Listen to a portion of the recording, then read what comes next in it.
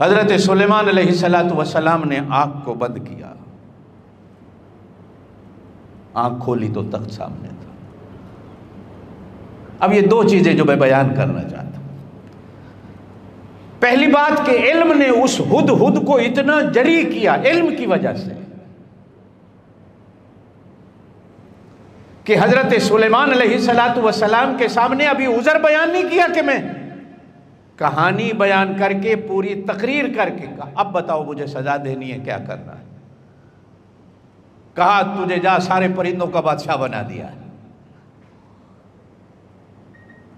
علم نے ایک پرندے کو اتنا ممتاز کر دیا کہ وہ نبی کے دربار میں کھڑا ہو کر بھی بات کر رہا۔ اور ایک صاحب علم، لوگ کہتے ہیں، جن ایسے ہوتے ہیں، جن کچھ نہیں۔ اللہ نے جو مقام اس امت کو دیا ہے وہ جنات کے پاس بھی نہیں ہے۔ اللہ کی قسم کھا کے کہتا ہوں۔ میں نے اپنی آنکھوں سے ایسے ایسے لوگ بھی دیکھے ہیں کہ جن کی جوتیاں سیدھی کرنے والے بھی جن تھے۔ میں نے ایسے لوگ بھی دیکھے ہیں کہ جن کے گھر میں گائے اور بھینسوں کو گھاس ڈالنے والے بھی جن ہیں۔ ہو سکتا ہے آپ نہ مانیں، کوئی بات نہیں۔ میں کو آپ سے منوا نہیں رہا۔ لیکن لوگ دیکھے۔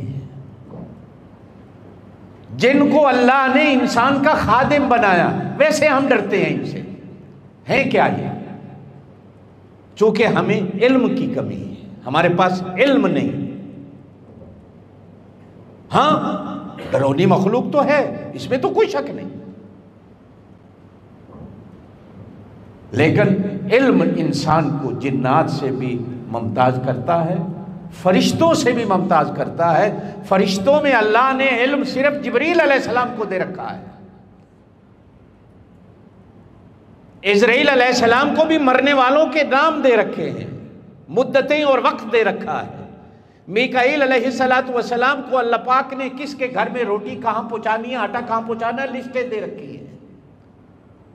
اسرفیل علیہ السلام کو بھی علم نہیں دے رکھا کہ قیامت کب آئے گی۔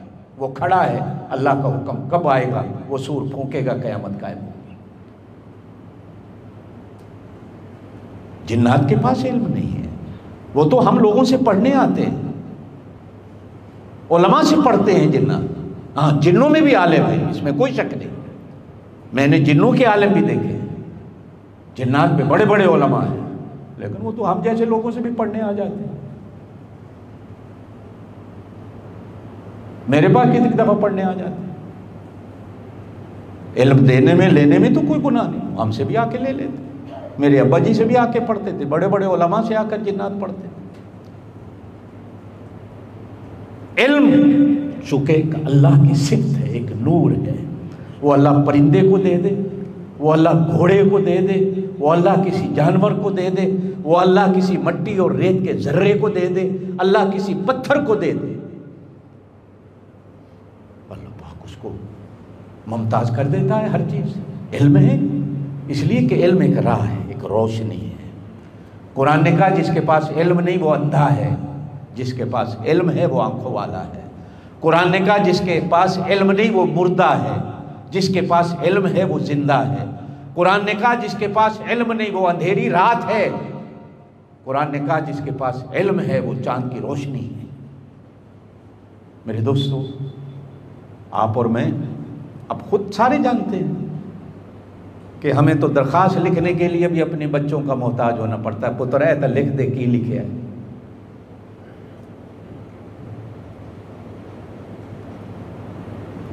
اولادوں کو پڑھاؤ، اولادوں کو علم دو۔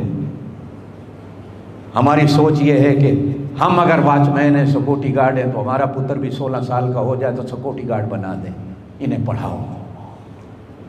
سوچتے ہیں کہ ہم بلکہ مجھے خود کئی دوستوں نے ہلو استاد جی اسی پیسے کمانا ہے، یہ تے پڑھانا ہے۔ میں جدہ کمایا، یہ بھی انجے کماوے نا۔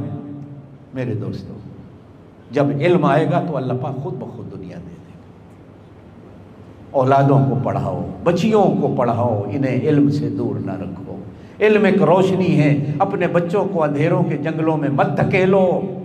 اپنے بچوں کو علم کو نور کی طرف دھکیلو کہ ان بچوں کو علم آئے، ان کو روشنی آئے۔ ہاں پھر آگے علم کی قسمیں ہیں۔ کچھ علم وہ ہیں جو فن ہیں۔ کچھ علم وہ ہیں جس سے انسان اللہ اور اللہ کے رسول کی پہچان کرتا ہے اپنے آپ۔ لیکن علم ضروری ہے۔